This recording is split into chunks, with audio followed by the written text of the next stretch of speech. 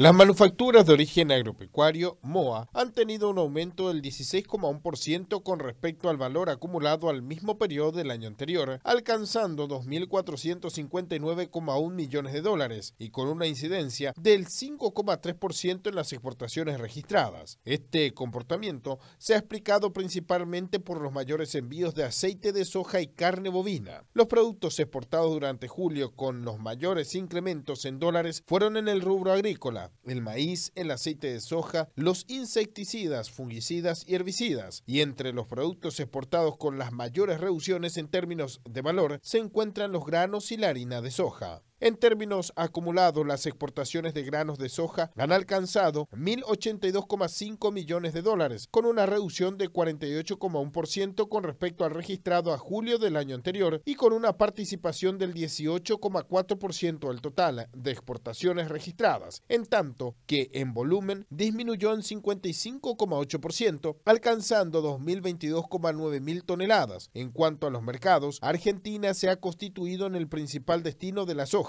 con el 76,6% del total, seguido por Brasil con el 15,9% de participación. Entre los principales productos exportados al séptimo mes del 2022 se destacó el aceite de soja con un incremento del 43,0%. También presentó crecimientos importantes el trigo 18,2%. Por otro lado, los productos que registraron caídas en valores fueron los de granos de soja y el arroz, con reducciones del 48,1%, 6,6% respectivamente. understand